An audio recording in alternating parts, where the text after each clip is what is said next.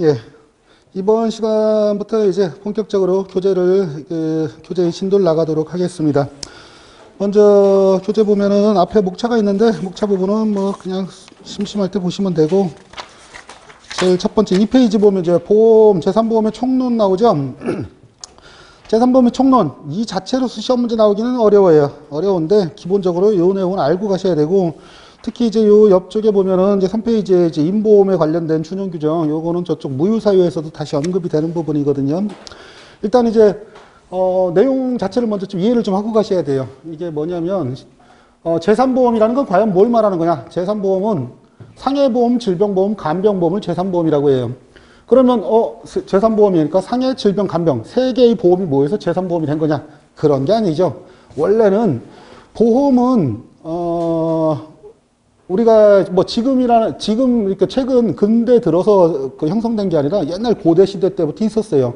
용어의 차이가 조금은 있지만 근데 이제 그 당시에 어떤 큰 위험을 닥쳤을 때 한 개인이 그걸 다 감당하기가 어렵고 그리고 또 오랜 경험을 통해서 이렇게 되돌아 보니까 아 그러한 큰 사고가 몇 년 한 번 정도 나고 그 정도 손실이 나면 대개 어, 얼만큼의 손실이 나더라 그걸 대비하기 위해서 우리 좀 마을에서 돈 좀 모아놨다 그런 사고 있으면 그것 좀 대, 이렇게 어떤 회복시키는 그런 활동을 좀 하자라고 해서 이제 모험 대차 형식으로 계속 유지가 되다가 그러다가 뭐 이제 화재보험도 생기고 제일 먼저 생긴 거는 해상보험이에요. 해상보험이 가장 큰 위험이었으니까 그렇게 쭉 생기다가 어, 근대에 들어서 왜 사- 물건만 손 물건에 대한 손실만 보상을 받고 회복을 하냐. 우리 인적 손실. 사람이 가장이 다치거나 사람이 죽거나 다 사망하게 되면 그의 아이들이나 그의 유가족들은 또 생계의 문제가 발생을 하니까 사람이 다쳤을 때도 보상을 하는 게 맞다라고 해서 근대에 들어서 이제 생명보험이 들어선 거거든요. 그러니까 보험의 전반적인 근원은 손해보험이 기본 토대가 돼요. 우리 그 재산보험의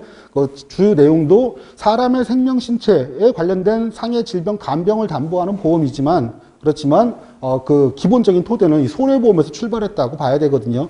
그래서 보험학자들이 이제 표현하기를 원래 실질적인 손실을 보상하는 손해보험이 이게 원래 보험의 가장 원시적인 아니면 가장 그 시초적인 보험 형태이기 때문에 이게 1세대 보험이다.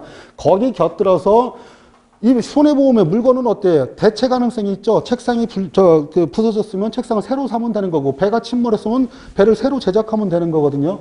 근데 그거하고 달리, 어, 사람, 갑동이가 주- 죽었는데, 갑동이를 새로 똑같은 나이대에 똑같은 성별을 가진 남자 대체해 준다고 그 남은 유가족이 그게 어떤 그 감정이 회수되는 게 아니잖아요. 그러니까 대체 불능에 그리고 어떤 그 가치를 평가할 수 없는 이 생명보험, 요걸 2세대 보험이라고 해요. 그래서 이제 1세대 보험하고 2세대 보험은 전혀 성격이 달라요. 잠시 후에 다시 나오겠지만 다른데 하다 보니까 어 손해보험 쪽에서 주로 담보를 해오던 이런 방식하고 생명보험에서 주로 보상해오던 이 담보 방식하고 약간 혼용되는 중간자적인 게 있어요. 이 중간자적인 거 이걸 뭐라고 표현할까? 보다 보니까 이제 이게 1세대 보험도 아니고 2세대 보험도 아닌 제3의 영역을 차지하는 보험이다. 뭐 gray zone이다 라고 해서 제3보험이란 용어가 나온 거거든요. 이 자체 시험 문제 안 나오니까 신경 쓸 건 없어요, 우리는. 그래서 그냥 기본적으로 삼보험, 재산보험은 왜 재산보험이냐고 상해, 질병, 간병이기 때문에 이거야. 아니야. 그거 아니고 이제 어떤 그, 그 우리 역사적인 연혁적 스토리 때문에 삼보험이라고 이제 표현이 됐다. 이렇게 보시면 되고. 이 삼보험은 그래서 이제 손해보험의 전통적인 보험의 기본 틀을 손해보험 걸 이끌고 오- 오고 있었는데 손해보험과 조금 다른 게 있어요. 손해보험에서는 기본적으로 어, 피보험이익이 없으면 이제 보험계약이 무효가 되는 이런 피보험의 그 피보험 이익의 원칙이라는 기본 베이스가 있는데도 불구하고 우리 인보험 쪽 사람의 생명 신체는 어, 피보험 이익이 없다라는 좀 그 특징이 있죠. 인보험에서도 피보험 이익이, 이 피보험 이익이 존재한다라는 일부 영미법계 학자들의 주장도 있지만 그것도 한동안에 좀 잠깐 유행했던 이론이고 지금은 뭐 이거에 대해서 이렇게 크게 다툼은 없는데 근데 여하튼 뭐 아직까지 뭐 인보험에서도 피보험 이익이 있다라는 의견이 있으니까 여기다 이제 통설적 옛날에 객관식으로 시험 문제로 나오면 저 재산보험에서 피보험 이익이 없다 이러면 그 문장이 틀린 문장이었어요. 그럼 재산보험에 피보험이 이- 이익이 있다. 그 문장도 틀린 문장이었어요. 왜냐하면 이게 이제 통설은 피보험 이익이 없다의 개념이고 약간 예외적으로 인정하는 학자들도 있었기 때문에. 근데 우리는 그 생각만 하면 돼요. 피보험 이익이라는 개념, 손해사정 이름 시간에 다 배웠을 거예요. 보험 목적물에 대해서 피보험자가 가지는 경제적 이해관계를 피보험 이익이라고 하는데 그러면 나의 손가락 하나, 나의 안구 하나는 얼마짜리인가? 내가 이거, 이 안구에 대해서 내가 얼마의 가치로서 이해관계를 갖고 있나?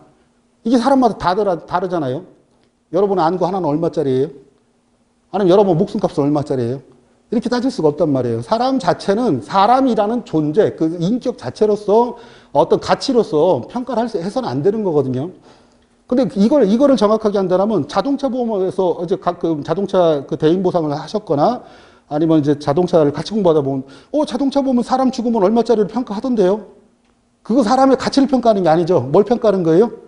일실 수익을 평가하는 거예요. 노동 능력 상실률에 따른 원래 안 다쳤거나 안 죽었으면 벌 수 있었는데 잃게 된 손실, 경제적인 손실을 갖다 그러니까 경제적으로 얻을 수 있었던 노동의 가치로서 얻을 수 있었던 노동 능력을 평가하는 거거든요. 사람의 가치를 평가하는 게 아니에요. 그렇기 때문에 인보험, 저 우리 재산보험에서는 피보험 이익을 없다라고 보는가, 본다. 이 피보험 이익은 어, 그 정의가 또 뭐예요? 그러니까 저 보험가액, 보험가액도 없다고 하는데 이 보험가액 저기가 뭐예요? 피보험 이익의 경제적 가치를 평가한 게 보험가액이잖아요. 그래서 우리 재산보험에서는 보험가액 떴다. 그 다음에 이제 보험자 대의도 제한된다. 손해보험에서는 이건 반드시 우리 상법상에 규정되어 있는 내용이기 때문에 약관의 규정이 없다고 하더라도 대의권 행사할 수 있거든요. 대의권 뭐예요?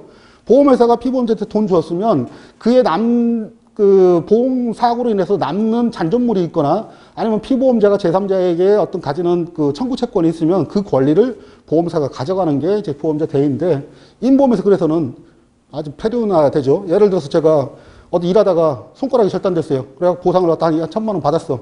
이게 손가락 절단된 거, 요 남은 남은 뼈 조각하고 피부덩이는 돈 줬으니까 내가 가져가겠다면 한 대 패야죠 그냥.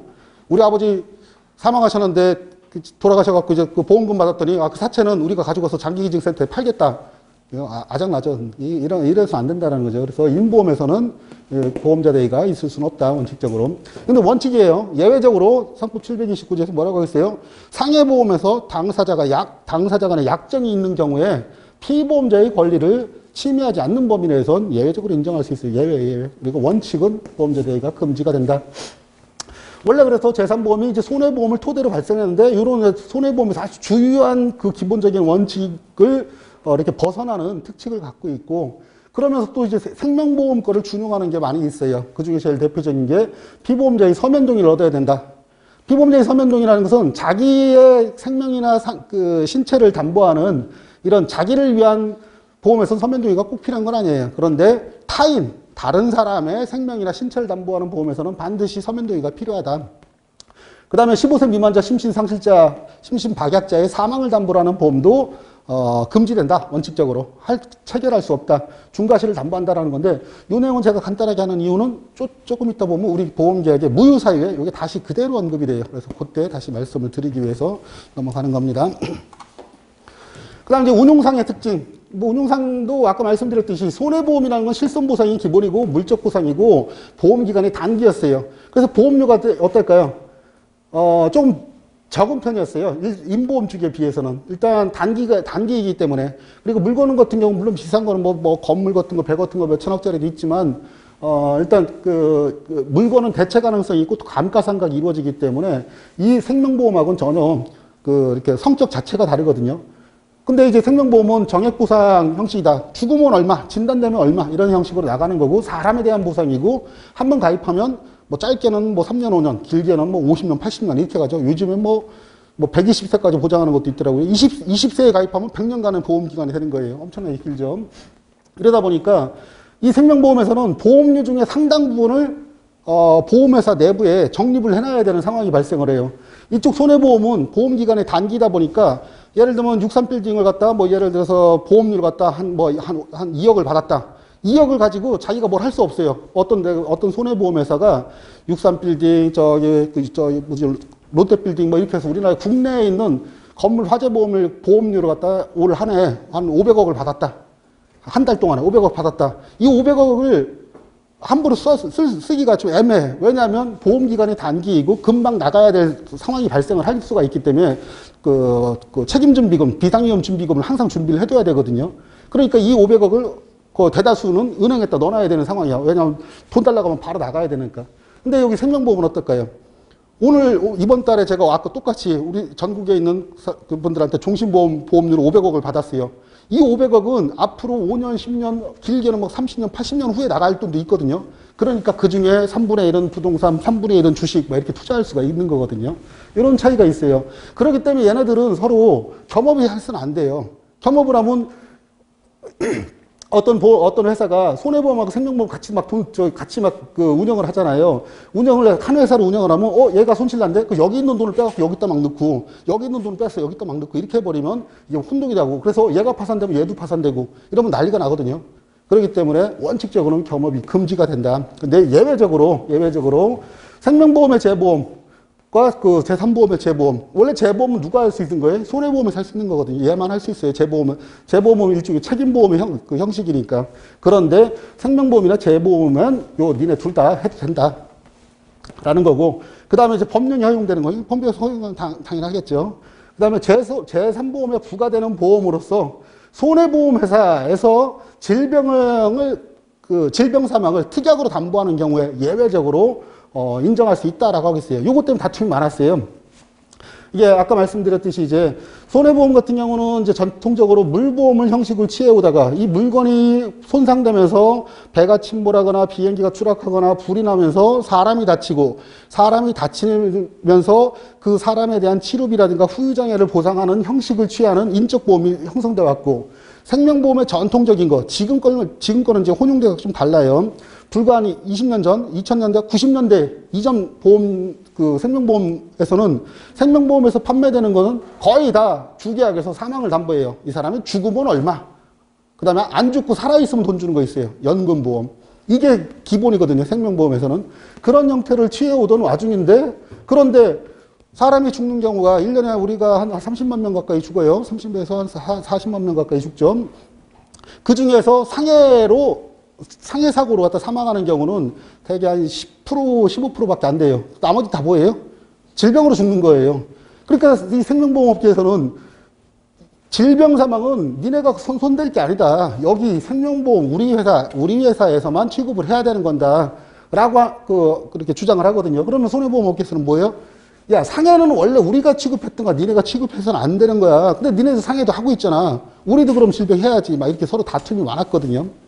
이러다가 이제 어, 감독원에서 이제 조정을 한 게 야 그래 어차피 제, 저 사람이 죽는 것도 우리 재산보험의 하나의 그 이렇게 재산보험 영역에 넣고 있고 그리고 질병보험에서도 암보험이라든가 CIA 형식을 갖다 판매를 하고 있으니까 어, 허용을 해줘 허용을 해주는데 제한을 좀 그, 그, 두께라고 해서 생명보험 같은 경우는 질병 질병 사망이 종신보험 같은 거 뭐 종신으로 간다든가 뭐 100세 막 이렇게 가잖아요. 근데 보험 만기가 80세 이하로서만 가능하고 인당 그 보험 금액이 2억 원 이내여야 되고 그다음에 무엇보다 제일 큰 거 이거죠. 사실 여기 만기 환급금이 납입보험료보다 작아야 된다. 그죠? 작아야 된다. 예.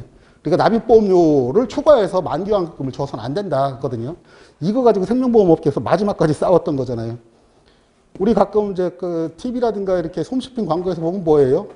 보험료가 뭐 이렇게 나이가 들어도 어쩌고 저쩌고 뭐 보험료가 절대 오르지 않고 그리고 만기가 되었을 땐 납입보험료 전액을 다 환불을 해드린다고.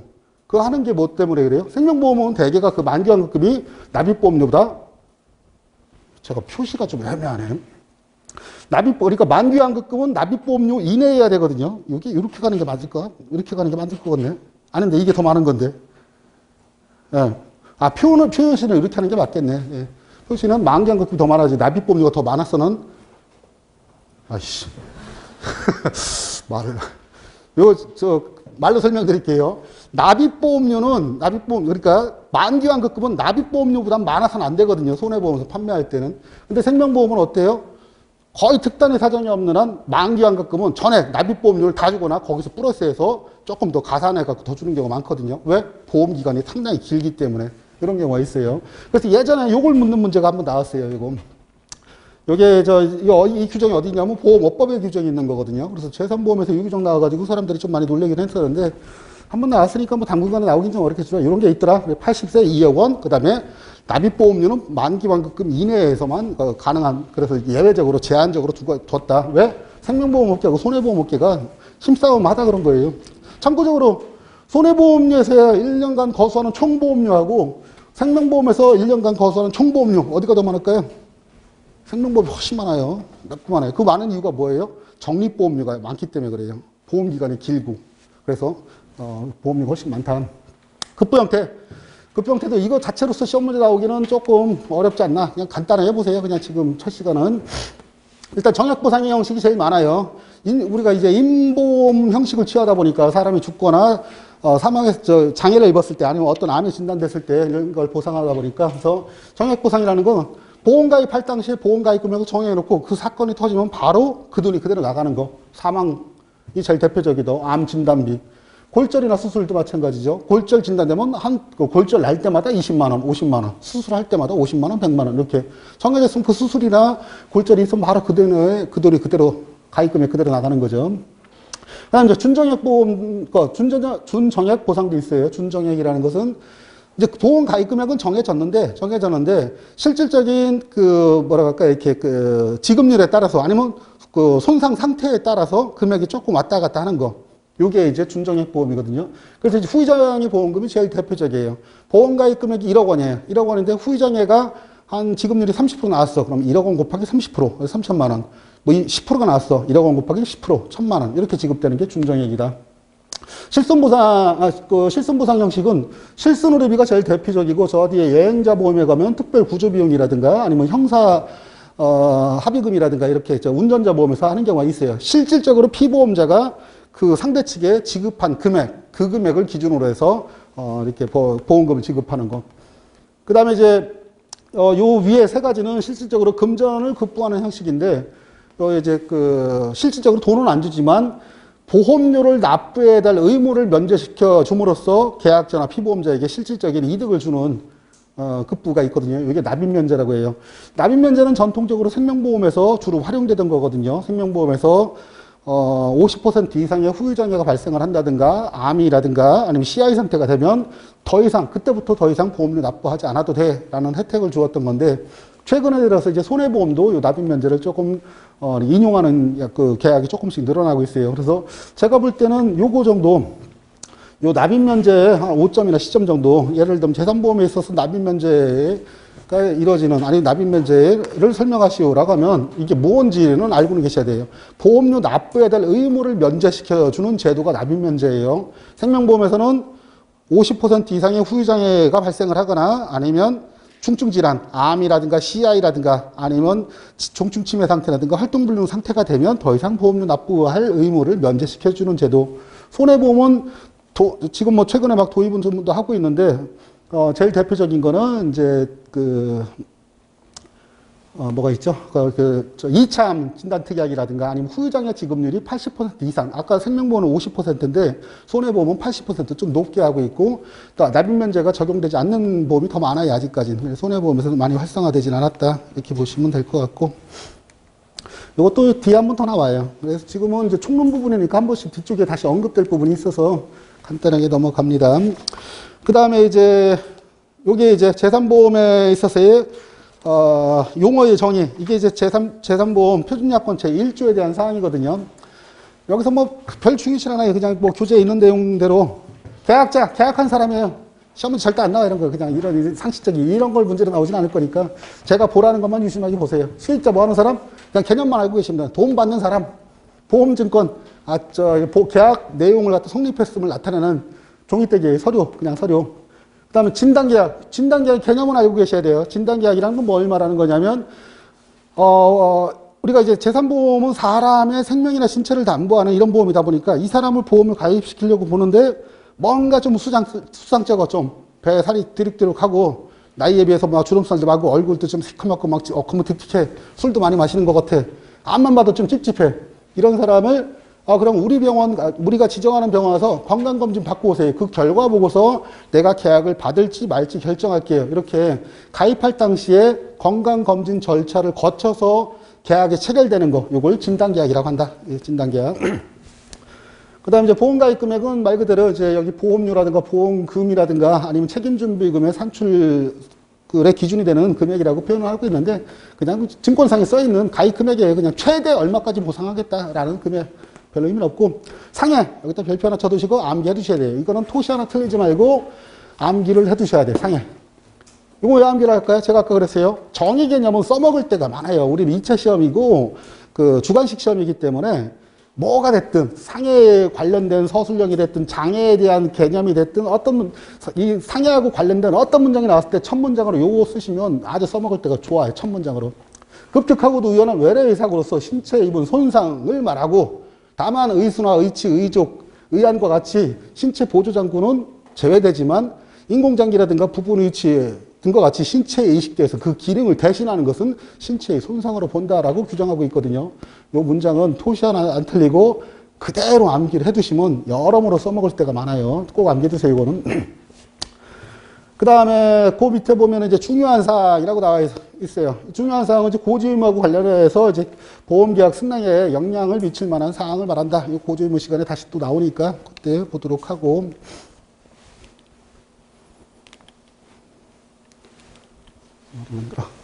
일단 보험기간, 보장을 받을 수 있는 기간이라고 보시면 돼요. 별거 없고. 영업일, 이것도 개념은 이해를 하셔야 돼요. 암기까지는 아니라고 하더라도 이 개념은 이해하셔야 돼요. 영업이라는 것은 뭐냐면 보험회사가 정상적으로 영업하는 날을 말한다. 1년에 365일 중에서 실- 실적으로 영업하는 날. 그러면 이제 그게 아닌 날이 있죠. 토요일, 아니면 공휴일, 근로자의 날. 요 날을 뺀 날이 다 영업일이다. 이렇게 생각하시면 돼요. 그래서 이제 정확하게 본다면 토요일이라든가 아니면 관공서 공휴일에 관한 규정 에서 말하는 공휴일, 그 다음에 근로자의 날을 제외한 날이 다 영업일이다. 그럼 얘네들 그 토요일이나 공휴일이나 아니면 일요일이라든가 아니면 관공서의 과- 그 관공서의 공휴일에 관한 규정에 따른 공휴일, 임시, 법정 공휴일도 마찬가지죠. 이런 건 날은 다 휴일이라는 거예요. 그럼 나중에 갔을 때 저 후유장애 보험금이나 사망보험금 계산할 때이 토요일, 일요일 근로자의 날 이런 날에 사고 나가면 휴일 휴일상의 사망이나 그 휴일 사고로 보험금 처리가 돼야 돼, 그 돼야지 된다라는 거거든요. 그러니까 요정저 예. 휴일 평일할 때도 구별할 때도 요게 개념이 필요하고 또 한 가지가 나중에 보험금 지급하게 되면은 3영업일 이내에 돈을 줘야 되거든요. 3영업일 넘어서면 이제 이자가 가산돼요. 그 이자가 가산되는 시점을 찾는 문제라든가 언제부터 이자가 가산되는지 뭐 이런 걸 묻- 묻는 문제 가끔 나올 때가 있거든요. 그러니까 요 개념은 꼭 이해를 하셔야 돼요. 그래서 쉽게 말하면 까만 날 달력상에서 까만 날과 고- 근로자의 날은 까만 날이어도 휴일이에요. 우리 보험법 저 우리 보험 그 계약에서는 그러니까 기억을 해두세요. 고- 근로자의 날이 언제인지 아시죠? 5월 1일이에요. 5월 1일. 5월 1일은 그날이 까만 글씨로 목요일, 수요일로 돼 있다고 하더라도 우리 보험 계약에서는 휴일이다. 꼭 기억을 해두세요. 보험 조건 아까 의미 없고. 그 다음에 이제 요거 보장 개시일 여기 별표 하나 쳐두시고 페이지로 몇 페이지죠? 에, 보장 개시일. 네. 어, 6페이지인가? 네, 6, 6페이지에서 7페이지 걸쳐, 걸쳐 있네요. 그, 요 보장개실은 별표 하나 쳐두시고 꼭 암기를 해두세요. 보장개실이라는 건 뭘 말하는 거냐면 보장이 개시되는 날. 이거야 뭐 기본적으로 알겠죠. 근데 이제 그 밑에가 중요하죠.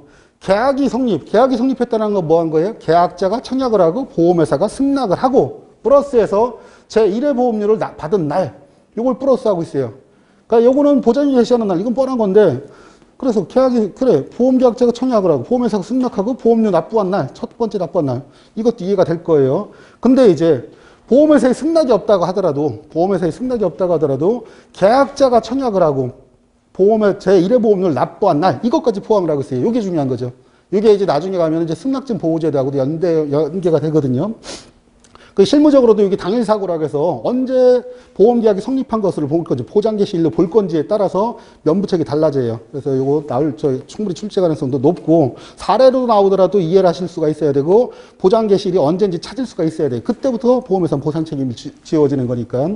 그래서 이런 경우에 실질적으로 청약서상 계약일을 어떻게 정- 정했다고 하더라도 여기 이제 요 청약과 함께 최, 최 보험료를 납부했다. 라고 하면은 보험회사의 승낙은 필요 없다라는 거예요. 승낙 여부는 중요치 않고 일단 그때를 보장 개시로 보고 그게 곧 계약일이 된다. 라고 하겠어요.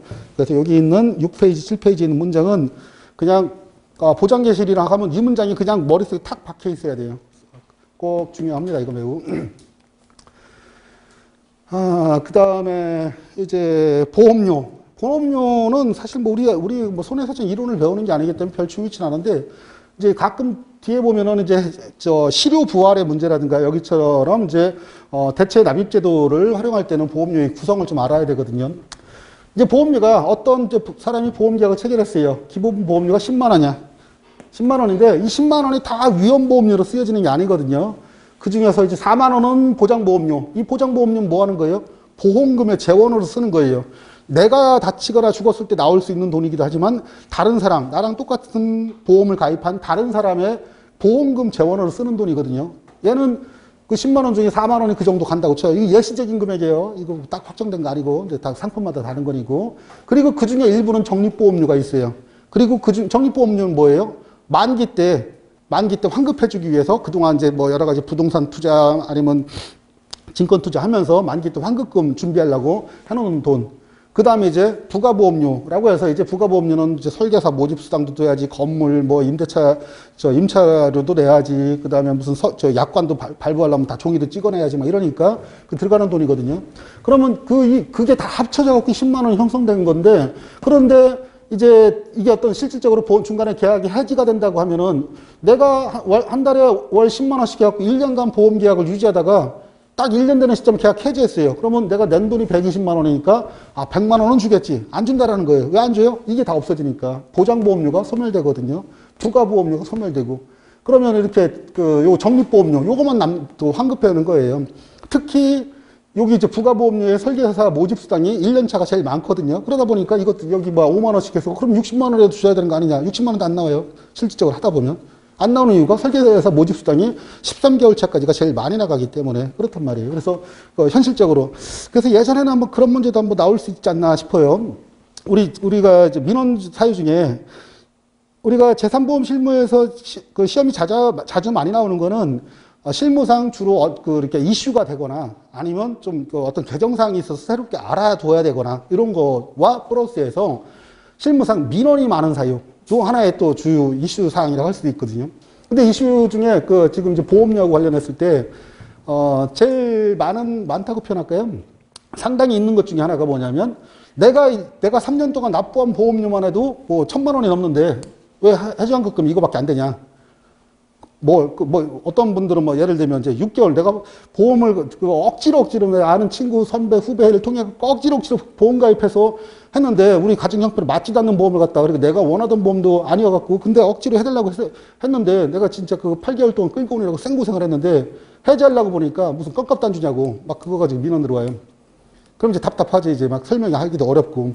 그러면 이제 그 우리가 뭐 실무적인 그러니까 시험하고 관련해서 생각할 때 이런 거 있죠 해지환급금이 해지환급금이 납입보험료보다 적은 이유를 설명하시오. 이런 문제 충분히 가능할 수 있어요. 그러면 그 해지환급금이 그 납입보험료보다 적은 이유는 뭐예요? 이 위험보장보험료하고 부가보험료가 소멸되고 그 사이에 모집수당이나 그 관리수당이 다 빠지기 때문에 그런 거거든요. 그러니까 그 점은 알고 계시고. 그러면 이제 여기 이제 보험료가 이렇게 기본적으로 구성이 되어 있는데 이제 여기 우리가 있는 알고 있는 7번 7페이지 그 보험료에 관련 용어 다른 건 다 필요 없어요. 근데 그 가로 7번 있죠. 납입 일시 중지 대체 보험료 제도. 요 제도는 조금 알고는 있어야 돼요. 이게 이제 시루 부하라고도 관련이 있거든요. 이게 뭐냐면 어떤 사람이 보험 계약을 체결을 했어요. 그래서 체결해 갖고 계속 보험 잘 내고 왔어요. 쭉 내고 오다가 어느 순간 지금처럼 이제 코로나처럼 막 어, 이렇게 뭐그 사회 활동이 많이 제한되고 막 장사도 이렇게 안 되는 시점이 됐어요. 그럼 더 이상 보험료 납부할 돈이 없어. 아니 납부하기도 힘들어 지금. 이런 경우에 바로 보험계약을 해지해 버리면 그럼 이 사람 입장에서는 이, 이동안 이렇게 오랫동안 보험계약을 유지한 그 노력도 희- 희석되고 그리고 여기서 계약 해지돼 보면 이거 다 날아가는 거잖아요. 그러니까 이거 가급적 살리고 싶어. 그런 경우에 여기서부터 계약이 성립한 시점부터 여기까지 얘하고 얘는 없어지지만 이 적립보험료는 계속 쌓여갖고 온 거잖아요. 이 해지 환급금을 가지고 여기서 이 보험료 못 내는 동안 대신 납부를 해주는 제도. 요게 보험료 일시 그, 그 저기 납입 일시 중지 보험료 대체 보험료 제도거든요. 그러니까 이 제도가 이런 게 있구나. 해지환급금 보험기간 중에 유지되든 보험기간이 유지되던 기간에 모아둔 해지환급금으로 보험료를 납부 못할 경우에 대신 납부할 수 있는 거예요. 이 기간은 어, 원칙적으로 1년을 한도로 해서 요건 계약자가 신청을 해야 돼요. 계약자가 신청을 하고 신청을 하면 1년을 한도로. 그래서 1년 지나면 다시 또 계약자가 또 신청하고 이렇게 할 수는 있어요. 그러니까 이런 제도가 있다 정도 기억을 해 두시면 되고 어떤 거다 이런 게 그 정도만 알고 있으면 될 것 같아요. 그 다음에 그 밑에 보험기간 중에 저거 저쩌고 있는 거 지급사유 있죠? 이건 너무 뻔한 거니까 죽으면 주, 사망보험금은 그리고 다쳤으면 뭐 상해보험금 이런 거 나가는 거거든요. 별 의미는 없고 이제 시, 저, 실질적인 이제 시험하고 관련되는 거 8페이지 사망보험금부터 보죠, 이제.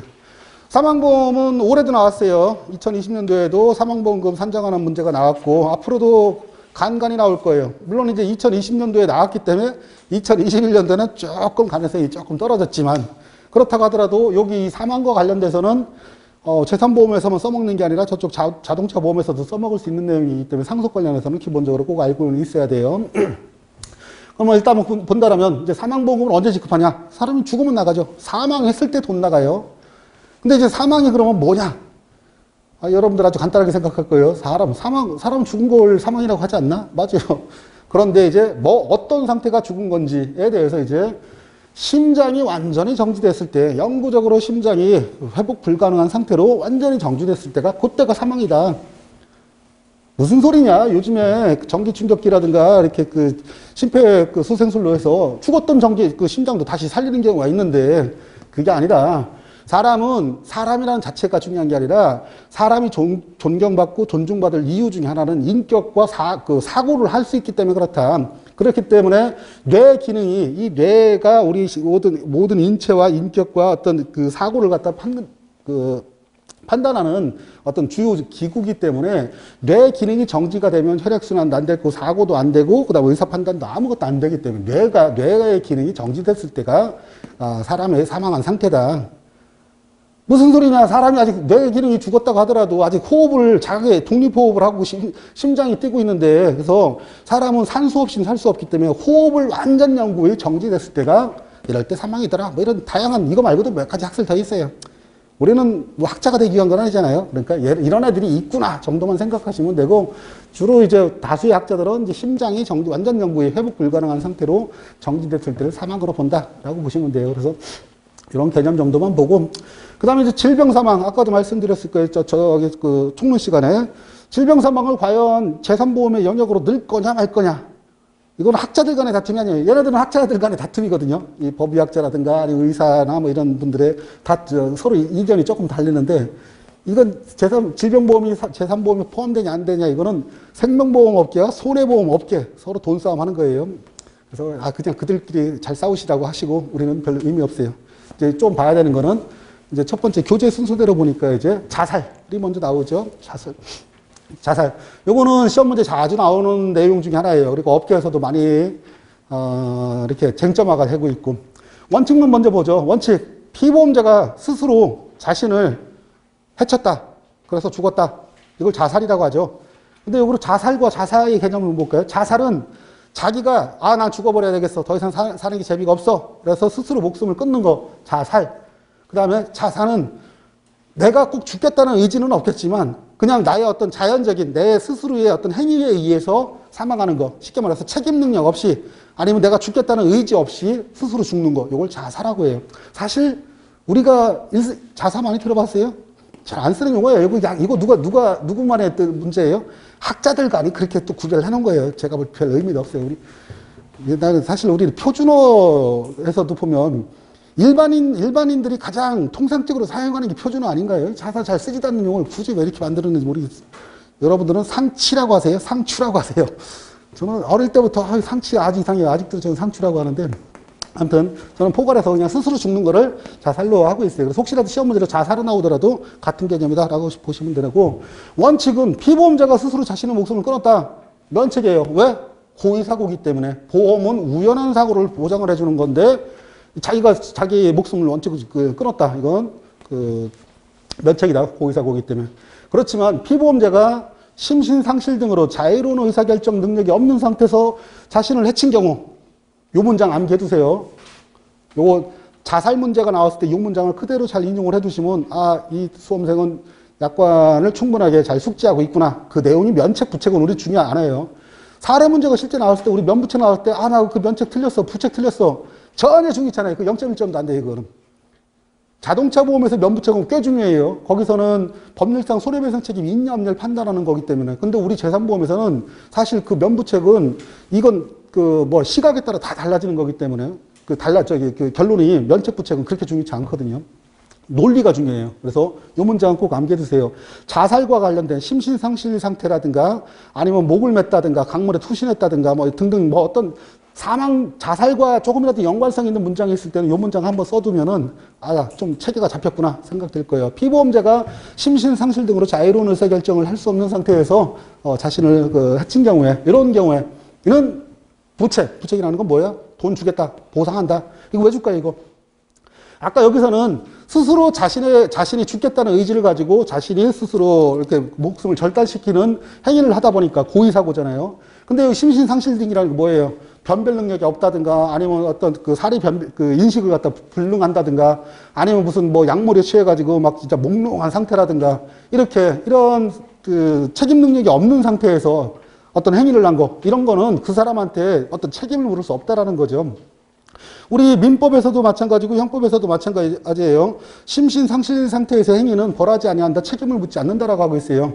쉽게 말해서 제가 그냥 여러분들도 모르고 하- 하고 다니는 그냥 막 진짜 무슨 뭐 뭐라고 하죠? 뭐 머리 꽂고 꽂고 꽂고서 이런 다니는 사람이 무단횡단을 했거나 아니면 어디 지나 뭐 이렇게 무슨 과일상에서 과일을 하나 훔쳐 먹었다고 해서 어 네가 절도죄를 범했네 무슨 뭐 어떤 이런 걸 물어봐야 설명도 몰라요 그냥 아, 하고 있으면 의미가 없잖아요 그러니까 그 사람 그런 사람들은 책임을 물을 필요가 없고 그러면 그 사람 책임을 묻는다는 건 고의성이 없고 고의성이 없다라고 하면 보상을 하는 게 맞다라는 거거든요. 그래서 이제 요게 요게 이제 2018년도에 19년 19년도에 이게 문제로 한번 나왔었죠. 앞으로도 나올 가능성 꽤 많아요. 요게 의외로 많아요 또. 제가 실무적으로 이렇게 저 활동할 때도 어 일주일에 한 두 건 정도는 저는 한 섹터를 맡거든요. 한 지역을 한 그렇게 조그만 지역을 맡는데 일주일에 두 건 정도가 들어와요. 뭐가 들어와? 목맨 거 아니면 저쪽 저 이렇게 저 목맨 게 제일 많죠. 아파트 투신 막 이런 거. 이게 들어와요. 뭐 의외로 우리나라가 아, 암이 사망 1위고 2위가 뭘까요? 2위가 교통사고요? 에이, 교통사고는 별로 안 돼요. 죽는 거 사망이 사망. 이거예요, 이거. 엄청나게 많아요. 1년에 꽤 많이 사망해요. 20, 20대, 20대, 30대, 40대 사망률 1위는 이거예요. 엄청나게 많아요. 아마 여러분들도 살면서 그런 이 생각 많이 해봤을걸요? 의외로 많다고요, 이게. 이게 많다라는 것은 실무적으로 이제 그 사람들이 목을 매거나 투신을 하거나 뭐 이렇게 했을 때, 어, 이게 자유로운 심신상실이 있었는지, 자유로운 의사결정 능력이 있었는지 없었는지에 따라서 보상 책임이 발생할 수도 있고, 그렇지 않을 수도 있거든요. 그래서 엄청나게 자주 발생하는 거. 그래서 요거는 제가 볼 때는 앞으로 사례 문제로 또 한 번 나올 수 있어요. 이게 18년인가 19년도에 한번 나왔는데, 또 다시 나올 수 있으니까. 그래서 요 문장 꼭 기억을 해주시라는 거예요, 요 문장은. 문장은 요거 어디 있어요? 저 어디, 요거 나중에 저기에 나와요. 어, 면책 사유요. 면책, 그 면책사유에서 보면 피보험자의 면책사유에서 요 문장이 그대로 있거든요. 그때 다시 말씀드릴게요. 그 다음에 이제 여기까지는 생명보험, 손해보험 모두 다 공통사항이에요. 모두 다 공통사항이고, 여기 이제 생명보험에만 있는 아주 독특한 특징이 하나 있어요. 아까 피보험자가 스스로 자신의 목숨을 절단시킨 거, 이건 고의라고 해서 면책을 했잖아요.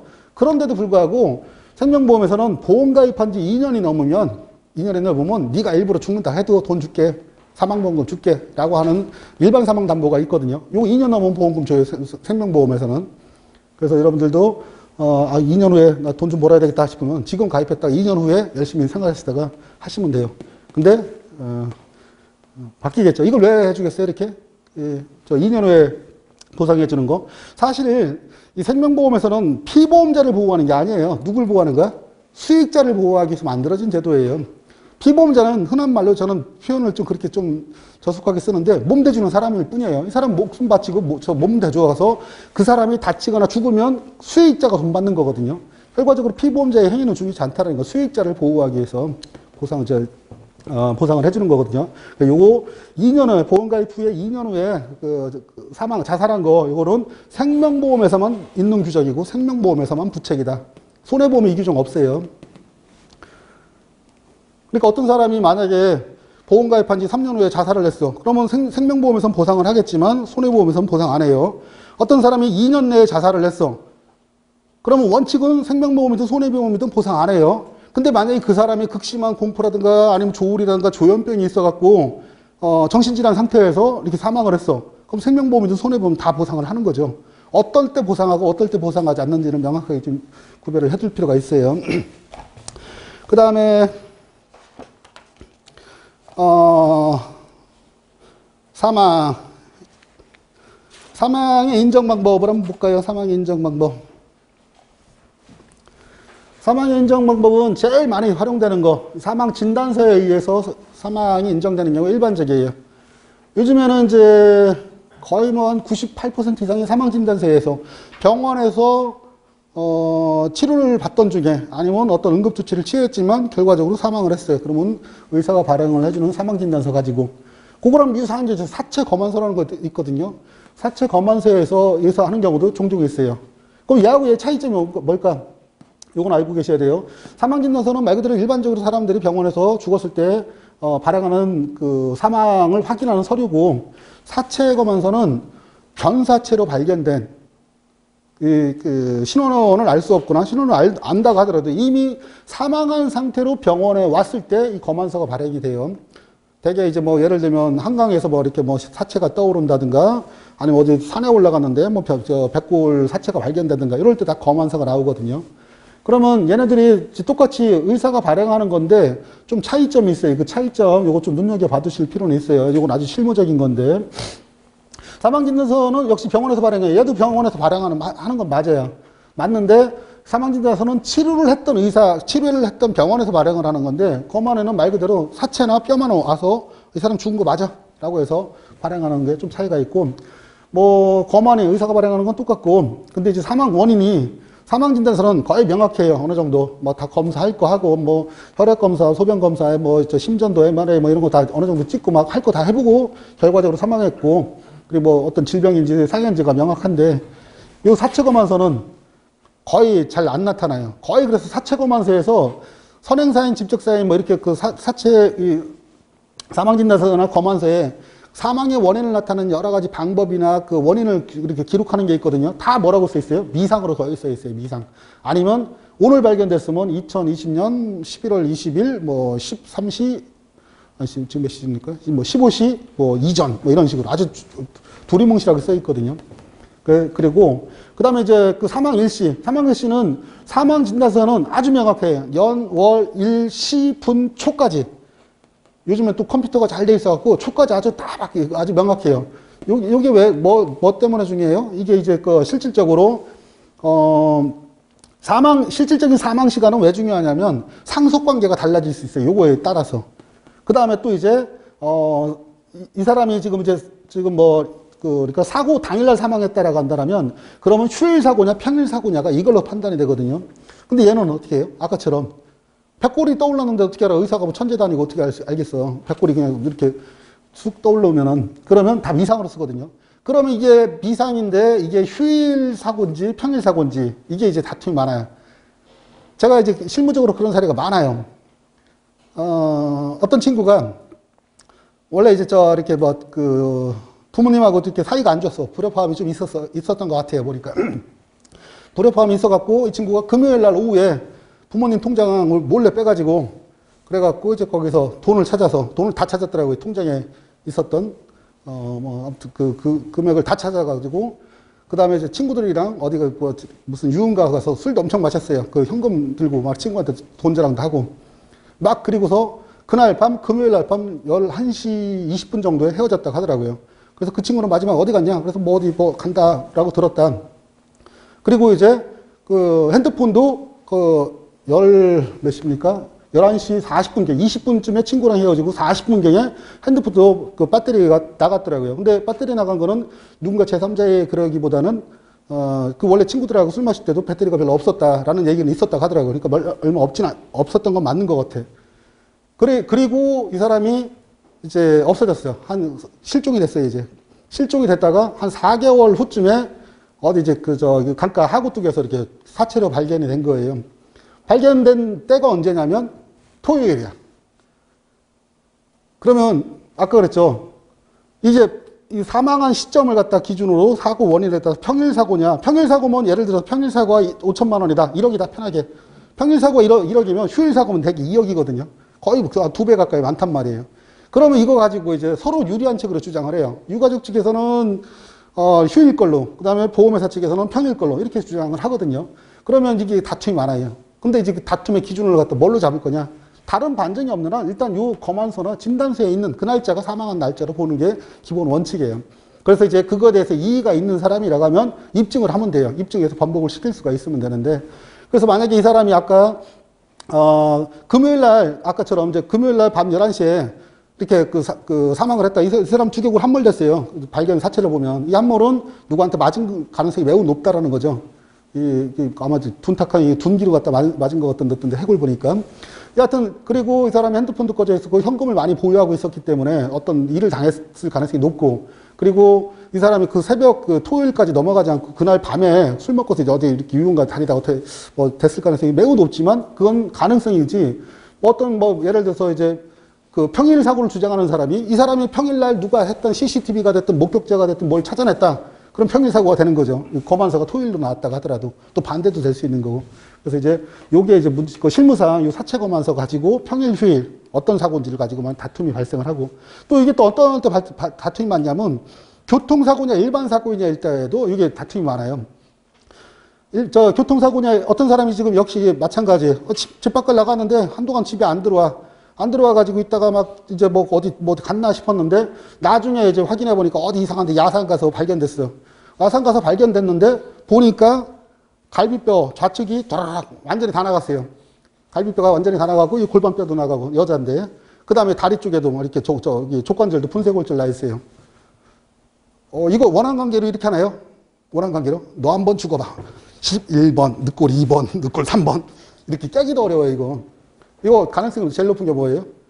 교통사고예요, 교통사고. 그 다음에 이 사람의 그 교통사고라고 제가, 알, 제가 알게 된 것 중에 하나가 역과되면 피부가 어떻게 되는지 알아요? 이렇게 차가 바- 밟고 지나가면은 요, 여기 다리에 옷도 자국이 남아요. 옷도 이렇게 이 옷이 한번 지나가면은 요 타이어 이 리드 자국에 의해서 타이어 이 저기 옷 천이 벌어진 간격이 다르거든요. 리드가 네, 리- 리드 자국이 딱딱 남아요. 피부도 남아요. 피부도 멍도 남고. 근데 피부는 이제 그 당시 이렇게 조금 약간 부패가 돼갖고 그런데 옷에서 그게 타이어 자국이 보이거든요. 그럼 이 사람은 교통사고 나고 누군가 거기다 옮겨놓은 거거든요. 그럼 이게 저 이제 교통사고냐 일반 사고냐에 따라, 따라서 입증 책임에 따라 달라지거든요. 이런 문제가 있기 때문에. 그래서 사망진단서 가지고는 크게 뭐 논할 가치, 뭐 논할 가치라기보다 우리 시험하고 관련했을 때는 어느 정도 명확하니까 얘가 주로 문제가 많이 되거든요. 이게 얘네들의 차이점은 조금 기억을 해서 요거 차이점 쓰라고 하면은 어, 어, 5점짜리 정도로 쓸 수 있게끔 정리 좀 해두세요. 그 다음에 아까 이제 각종 검사 얘는 그 특단의 사정이 없는 혈액 검사 엑스레이는 거의 대, 부분 찍어요. 아니면 심전도라든가 뭘 이제 응급 환자로 와서 심전도 못하는 경우도 종종 있지만 혈액 검사는 기본적으로 해요. 기- 어- 어떻게든 간에 병원에 왔다 싶으면. 근데 죽은 사람한테는 절대 안 해요. 뭐 몇 시간 전에 사망했는데 그 그렇다라고 해도 혈액 검사도 안 하고 엑스레이 아무것도 검사 안 해요. 그렇기 때문에 알 수가 없죠. 요 두 개 서로 이제 어떤 차이점이 있는지 좀 구별해 두시고 그다음에 인후보증. 인후보증은 뭐 요즘에는 거의 안 쓰는 방법이죠. 그냥 이런 방법이 있다 정도만 알아두시면 돼요. 인후 그냥 사람이 보증을 해주는 거예요. 아 그 사람 그때 죽은 거 맞아. 라고 하는 거. 어, 옛날에 60년대 70년대 이거 많았어요. 요즘에는 뭐 병원이 갖고 곳곳에 많이 있고 정보통신도 많이 발달하다 보니까 없는데 요즘에는 그 전혀 없는 거냐? 요즘도 간혹 있어요. 예를 들면 원양어선 같은 거. 남태평양에 지금 참치어선 갔는데 어떻게 일하다가 다쳤어요. 사망했어 누군가. 사망했는데 그 사람 때문에 다시 남태평 가서 그 다- 남태평양에 다시 한국으로 올 수도 없고 그것 때문에 그 사람 또 사체 처리하려고 인접국가 가서 거기서 대사관한테 연락해갖고 뭐 하려면 되게 복잡하고 막 이런 것도 있, 다 보니까 먼저 선 처리하는 경우도 있고 아니면 뭐 어떤 뭐 이렇게 감염병이 심해가지고 사체를 그대로 보관할 수 없는 경우 이런 경우도 있는데 극히 적다 아무튼 이런 게 있고 그 다음에 이제 그 실종 선고가 있다. 실종 선고는 이제 부재자의 생사가 일정 기간은 그 확인되지 않을 때 법원의 선고로서 실종된 걸 갖다 인정하면 그 실종 기간이 끝나는 날, 끝나는 날에 이제 사망한 것으로 본다라는 거거든요. 그래서 이제 부재자가 생사가 5년간 불명해서 실종 선고가 이루어지는 거, 이걸 일반 실종이라고 해요. 그- 그리고 부재자의 생사가 1년간 알 수 없는 경우에, 이런 경우에 실종 선고를 인정해주는 경우, 이거 특별 실종이라고 하거든요. 뭐, 이 일반 실종보다는 우리가 시험하고 좀 관련했을 땐 특별 실종이 좀 더 그, 그 사유가 뭔지가 나- 알, 수- 알 필요는 있겠죠. 그 특별 실종은 아무 때나 되는 게 아니라 첫 번째가 이제 피보험자가 전지에 임해, 임해서 1년 동안 생사가 불명한 거, 죽었는지 살았는지 나타나지 않는 거, 그 다음에 침몰한 선박에 탑승하고 있던 게 확인되는데 그 선박이 그 인양됐는데 그 사체가 안 보이는 거. 아니면 이제 추락한 항공기에 탑승해 있었는데 역시 사체를 확인할 수 없는 경우, 기타 위난이 될 어떤 그 사고가 발생한 날로부터 1년 동안 생사가 불명하다라고 하면 법원의 선고로서 특별 실종을 인정할 수가 있다라는 거예요. 이 사유 네 가지 정도는 한번 눈에만 익혀두시면 좋을 것 같고, 그리고 이제 요 특별 실종이 돼버리면 손해보험이든 생명보험이든 이제 보상 책임이 발생을 해요. 발생을 하는데 손해보험 면책 사유를 가- 나중에 가서 보면은 어, 전쟁, 혁명, 내란, 폭동, 사변을 면책으로 하고 있거든요. 또 선박 승무원이 직무상 탑승하고 있던 중에 선박 사고로 발생한 사고는 면책이에요. 그러니까 손해보험우선 얘네 두 개가 면책 사유에 해당될 수는 있고, 근데 일단은 특- 특별실종 인정됐다라고 하면은 어, 생명보험이든 손해보험이든 간에 상해 사망 보험금의 지급 대상이 될 수가 있다라는 거예요. 이제 면책 사유에 해당되는지 여부는 별개로 보고. 그 다음에 인정사망. 인정사망이라는 것은 이제 제가 뭐, 그 이거 나올 때마다 항상 얘기하는 건데, 세월호 사고를 생각하시면 돼요. 세월호나 예전에, 어, 삼풍백화점 사고나 뭐 이런 거. 이런 것처럼 대수재라든가 화재라든가 어떤 엄청난 큰 사건이 발생을 했는데, 거의 사망한 것은 거의 맞는 것 같아. 거의, 확- 그- 거의 확실시 되지만, 아무래도 사체를 찾을 수가 없어. 이런 경우에 이를 조사한 관공서에서 이 사람 사망한 게 맞아 라고 해서 가족관계 등록부에 기재를 해버리면 그 기재된 날에 사망한 것으로 본다라고 이렇게 하고 있어요. 그래서 이제 그 기재된 날이 가급적이면 피보험자 입장에서는 휴일이면 좋죠. 그 다음 보험회사 입장에서는 평일이면 좋고 이런 문제가 발생을 하죠. 그래서 이제 어 요거 같은 거 요게 이제 저쪽 그러니까 2018년도 시험 문제 한번 나왔어요. 요거 언제 그 사망을 기준점으로 잡는 건지 요거 나왔으니까 어 뭐한 2, 3년 지내 2, 3년 정도 올해 2021년도 바로 나오긴 좀 그렇다고 하더라도 어, 려운건 아니니까 이해는 분명히 하- 하고 계셔야 돼요. 언제 사망한 거 가족관계 등록부에 기재된 날 그날이 사망한 날짜예요. 그날이 평일이면 평일, 휴일이면 휴일 이렇게 그 다음에 이제 연명의료 중단.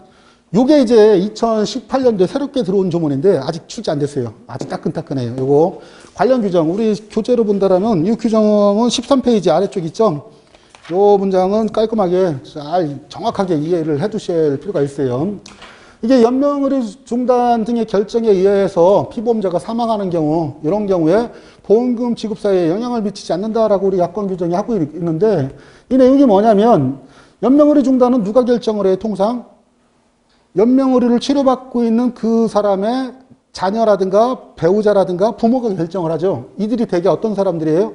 그 연명의료를, 연명의료 치료를 받고 있는 사람하고의 상속자 관계에 있는 경우가 많거든요.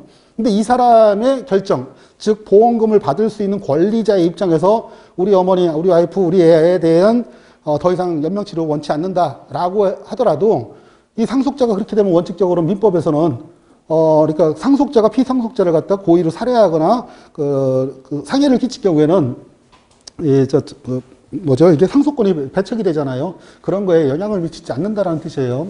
그 다음에 이제 그러면 이 사람의 그 사망의 종류를 갖다 그럼 어떤 걸 적용할 거냐? 연명의료 치료를 받는다라는 것은 이제 그 어떤 그 더 이상 일상생활이라든가 활동 불능 상태에 있다라는 건데 그 상태를 이르게 된 거, 상해 사고에 의해서 그 상태가 돼버렸으면 상해 사망 보험금을 나가는 거고 질병에 의해서 연명의료 상태가 돼버렸다면 질병보험금이 나간다라고 보시면 돼요.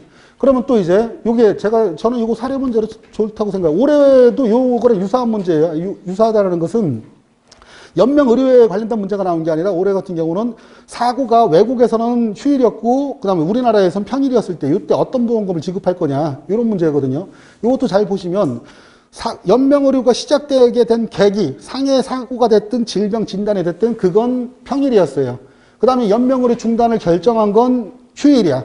그리고 이 사람이 실제 사망한 건 평일이야. 이럴 때 평일 사고 평일 사망 보험금을 지급할 건지 휴일 사고 사망보험금을 지급할 건지 이런 문제가 발생할 수가 있거든요. 그러니까 그런 건 우리는 요 생각만 하면 돼요. 우리 저쪽 손해보험도 마찬가지고 우리가 무슨 혹시 저 재물 준비하시는 분이 계신지 모르겠는데 보험의 기본은 어 이재설을 따르고 있어요.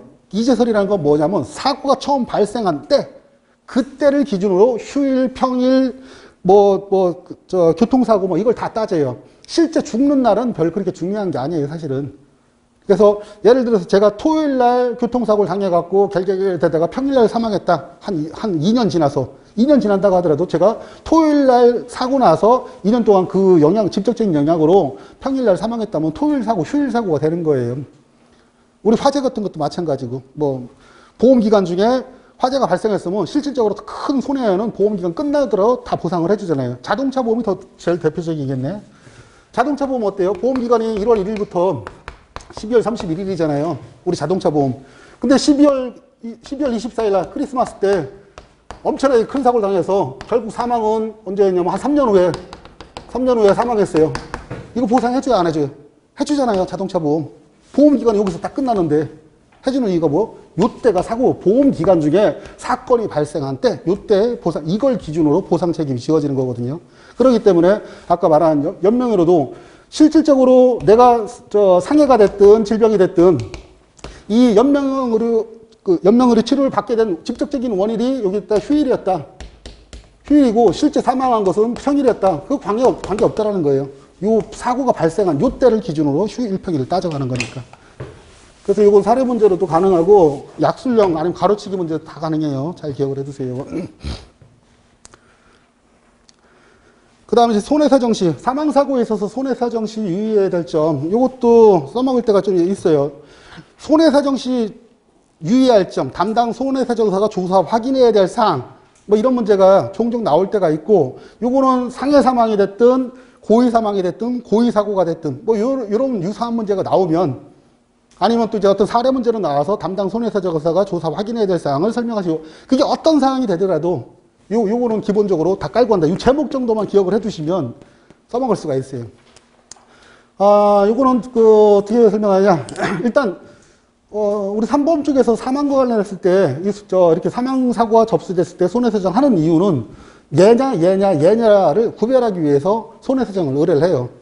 이미 죽었다라, 사망했다라는 건 아까 사체 검안서가 됐든 사망 진단서가 됐든 뭐 진단서가 들어왔을 거거든요. 그 죽은 건 명확해. 사망한 건 명확한데 어느 보험금을 지급할 거냐에 따라서 얘, 얘가 확인되면 면책이죠. 얘가 해당되면 이제 보상이 될 수도 있고 안 될 수도 있고 금액이 낮을 수도 있고 상해 사망이냐에 따라서 이제 금액이 커질 수 있고 낮아질 수 있, 있는데 이럴 때 뭘 조사 확인을 해야 되는 거냐. 첫 번째 이제 무조건 사람이 죽고 저 죽어서 비- 그 죽잖아요. 죽은 사체를 발견하게 되면 어, 여러분들은 이게 못 봤겠죠? 사체를. 저는 어릴 때 기억이 있어요. 근데, 근데 저도 법, 법령 위반한 거죠. 누구든지 간에 사람이 사망한 사체를 발견다, 발견하게 되면 경찰서에 신고하게끔 돼 있어요. 특히 의료기관은 당연히 그 의료기관에서 그거 신고 안 하잖아요. 경찰서에 신고 안 하잖아요.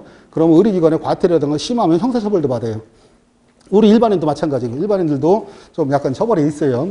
여하튼 근데 이제 그런 신고 의무가 있어요. 그럼 신고 의무가 있으면 경찰서에서는 사람이 사망을 했다라면 반드시 또 검사의 지휘를 받아갖고 이게 어떤 사망인지 확인을 해야 되고 수사를 해야 돼요. 다 열심히 수사를 해봤더니 아 그냥 혼자서 어, 원래 체, 저기 노인, 노, 노인이어서 체질적인 질환으로 사망하셨어 라고 하더라도 일단 기본적으로 조서 작성을 해서 검사한테 보고는 해야 되거든요. 검사가 봤을 때 어, 충분하네 뭐, 뭐 나이 연세도 있으시고 뭐 원래 지병도 있으시고 그냥 내사종결 하세요 라고 하면 끝나는 건데 아니야 이거 조금만 봐도 이상해 아무리 조금이라도 이상해 그러면 어, 수사를 해야 되거든요. 그렇기 때문에 이 검찰이나 경찰에서는 이제 공권력을 이용해서 모든 사망 사건, 대한민국에서 사체로 발견된 모든 사망 사건은 다 수사를 한다. 그러니까 일단 여기는 필수적으로 배- 무조건 가야 되는 거예요. 가서 보면 많은 서류가 여기 있어요. 경찰에서 이제 공권력이다 보니까 이제 그 권력을 이용해서 뭐 통신사의 통신 기록이라든가 아니면 CCTV 확보라든가 어 아니면 이제 주변인 뭐 면담이라든가 뭐그 진술 조서 같은 거 많이 받아놓거든요. 그리고 조금이라도 뭐 이렇게 이상하면은 이제 뭐 그저 국가서에다가 감정을 해도 해서 어 사망의 원인도 구- 규명도 하기도 하고 뭐 DNA 분석하기도 하고 또 이렇게 뭐 녹취록 같은 거 다 확인도 하거든요. 그래서 경찰서 가면 많은 정보가 있어요. 거기 가보면 이게 어느 정도 판명이 나요. 이 세, 세 가지가. 세 가지가 판명이 나는데, 근데 문제는 뭐냐면, 경찰서는 뭐 하는 곳이냐면, 이 사람의 사망의 원인을 규명하는 곳이 아니에요. 경찰이 주로 하는 것은 범죄 혐의점이 있는지 없는지를 판단하는 기관이거든요. 혐의점이 있으면 수사를 해갖고 검찰한테 넘기는 게 주 업무거든요. 그렇기 때문에 범죄 혐의점이 없는 것으로 나타났다. 라고 해버리면 더 이상 안 해요.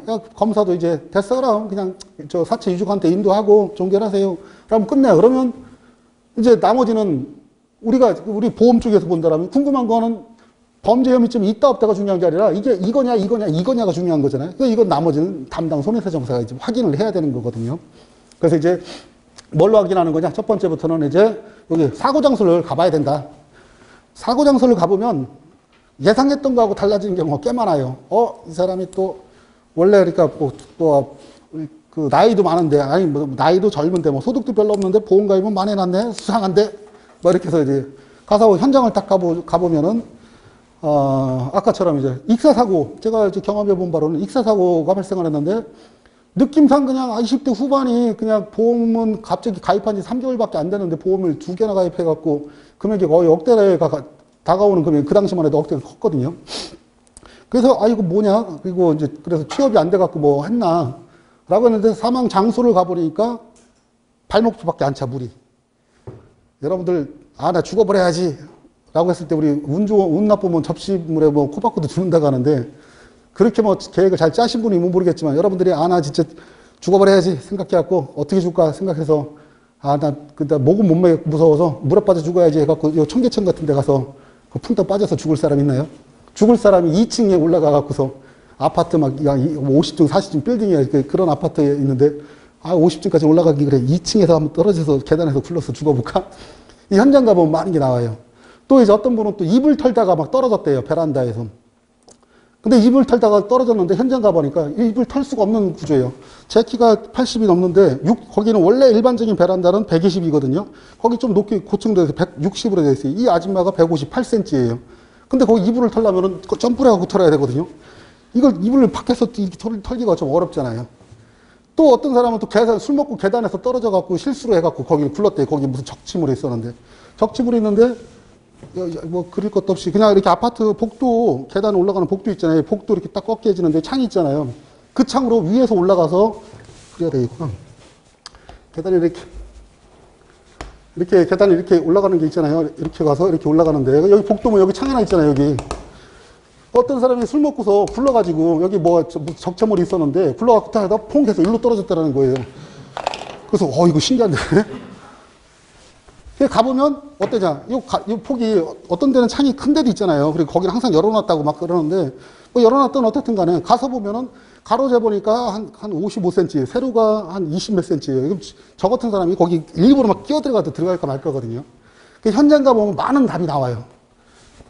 그리고 또 이제, 아, 이것도 있구나. 여기. 요, 요거는, 예, 이거 졸릴 때 얘기하면 많이 길을 쏠될 건데. 어떤 사람이, 어, 와이프가, 여기가 뭐냐면 텔이에요, 텔, 모텔. 와이프가 여기를 자꾸 들락거려요. 그래서 남편이 미행을 하다 보니까 이 사람이 다른 남자랑 여기 들어가는 걸 봤어요. 그러니까 한참을 여기서 있다가 기다리고 있다가 이 둘이 나오는 걸 봤어요. 그 나오는 걸 봐갖고 이 차가 윙 하고 갔어요. 갔는데 어 사람은 못 치고 여기 핸들을 팍 꺾었어요. 핸들을 팍 꺾었는데 일로 해서 요 옆에가 뭐냐면 여기가 어때요? 이런 데는 되게 어디 있어요? 경치 좋은 데 있잖아요. 여기가 출렁출렁하는 호숫가예요. 차가 풍덩 빠졌어요. 사람이 차에서 풍덩 빠지면 영화에서처럼 푹 참다가 이렇게 문 열고서 막, 막 이렇게 나올 것 같죠. 그거 쉽지 않아요. 문도 안 열려요. 아시나? 문 안 열리는 이유 아시, 아시죠? 이게 저, 이렇게 이게 불역차하고 기압차가 다르기 때문에 문도 안 열려요. 원래 물이 다 가라앉았을 때나 열리지. 그리고 이게 저 물이 우리 영화에서처럼 이렇게 막뭐툭 하면 물이 쑥 열려갖고 막 이렇게 나올 수 있는 게 아니라니까요. 우리 저기 그 무슨, 뭐 성룡 영화 보면 뭐 수중에서 막 주먹질 하잖아요. 수, 수중에서 주먹질이 그렇게 나갈 수가 없어요. 한번 해보시면 아실 거예요. 목욕탕에서 해보세요. 한번. 여하튼 그게 중요한 게 아니고 이렇게 돼서 거기 빠져서 사망을 했어요. 그러니까 이 사람은 자기의 신변을 비관해서 사망을 하려고 했다 뭐 이런 주장도 있고 그리고 또 저쪽에서는 유가족 저쪽에 이- 여기, 여기 있는 아까 배우자는 아예 이제 이 건에 대해서는 청구 자체를 않고 이의 부모 부모 입장에서 우리 아들이 그렇게 죽어 죽을 사람은 아니다. 그리고 그날 애들까지 다 챙겨주고 어쩌고 저쩌고 막 얘기 있고. 근데 현장 가서 보면은 뭐가 있었냐면 그 당시에 스키드 마크 아까 이렇게 있고 이렇게 핸들 꺾고 스키드 마크 쫙 그려져 있고 이거 퐁덩 빠졌어요. 이 스키드 마크는 언제 생기는 거예요? 스키드 마크 뭔지 아세요? 아, 큰일. 아니, 큰일은 아니에요. 우리가 뭐, 저, 스키드 마크라는 것은 타이어가 완전히 딱 굴러가다가 딱 잠기잖아요. 그럼 이렇게 노면에 딱 미끄러지면서 까맣게 생기는 거. 이걸 스키드 마크라고 하거든요. 그리고 이제 yaw mark는 이제 타이어가 옆으로 횡으로 밀려가면서 생기는 거. 이게 이제 yaw mark인데, 스키드 마크가 생겼다는 거는 타이어가 잠겼다라는 거예요. 타이어가 잠겼다는 건 뭘 말하는 거예요? 이 사람이 여기에 강하게 들어갈 의지가 적었다라는 거죠. 뭐 이런, 이런 거에 따라서 현장 가 보면 나- 내용이 달라지는 게 많아요. 이거 가보셔야 된다. 그 다음 채무 관계. 이게 이제 IMF 때 꽤 많았어요. IMF 때 보험 가입을 단기간 내 집중적으로 가입을 해놓고 갑자기 별 뜻도 없이 사망을 해. 우리 얼마 전에도 뭐 국가 부도 사태인가 뭐 이- 그런 영화도 하나 있었죠. 그거 보시면 그 당시는 너무 힘들다 보니까 내 한 목숨 희생을 해서 우리 가족이라도 먹고 살게끔 해주겠다 하고서 이렇게 하는 경우가 종종 있었는데 뭐 요즘에는 좀 적긴 하지만 여하튼 근데 요즘에도 언론에 가끔 나오죠. 신변을 비관하거나 생활구에 시달리다가 그냥 이렇게 목 이렇게 절단하는 경우가 종종 있는데 어, 이렇게, 이런 경우를 대비해서 이제 채무 관계, 그래서 부채가 얼만큼 있는지, 또 빚독촉을 얼만큼 받았는지, 뭐 이런 것도 확인할 필요는 있다. 요거하고 더불어서 이것도 많이 확인해야 돼. 대개 채무 관계 때문에 스스로 목숨을 절단하는 경우는 대개 어떤 경우냐면, 이제 어떻게 하냐면, 보험을 단기간 내에 여러 개 가입해요. 뭐, 여, 여기저기 보험사에다가 뭐 많게는 뭐 10개, 20개씩 막 가입을 하고, 얼마 전에 요거 비슷한 거 하나 있었죠. 뭐 몇 개의 사례가 있죠. 한 사례는 어, 보험, 합계 보험금이 27억인가 그래요. 단기간 내에 6개월 내에 27억 원어치의 와이프 것만 보험을 잔뜩을 가입을 해놓은 거예요. 남편 거는 별로 가입을 않고. 보- 그 본인이 저쪽 그 모집 관계자로 종사하시는 분인데, 그래서 왜 와이프 것만 그렇게 했냐. 내가 가입하면 어차피 내 수당인데 어차피 와이프 거를 생명보장을 해주고 내 수당도 뭐 해야지 뭐 자기 직급도 올라가고 뭐 이런 게 있어서 그렇게 했다고 하는데 이 사람이 그 사고 나기가 좀 겸연쩍은 데서 유턴할 자리가 아닌 데서 유턴을 해가지고 와이프만 다친 거예요. 운전석 쪽으로. 그러니까 조수석 쪽으로. 그래서 와이프가 사망한 거거든요.